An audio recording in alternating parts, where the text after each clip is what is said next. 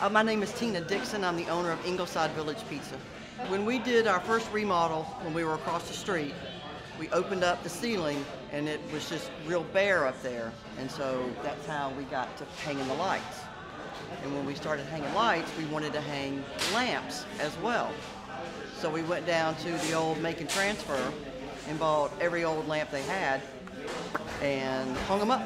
And I have most of them still in operation right now.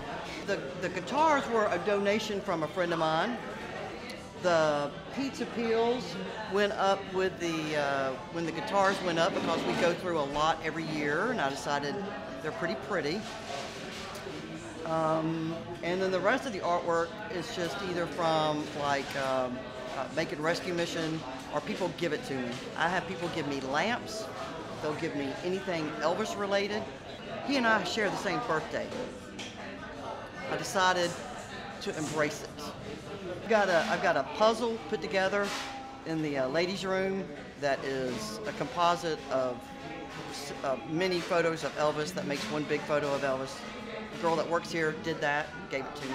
The stickers, that window right there came from the, the window across the street. When you walked in, there was a window, and we had covered it up with stickers. And people were very concerned about that, that window because it was old stickers.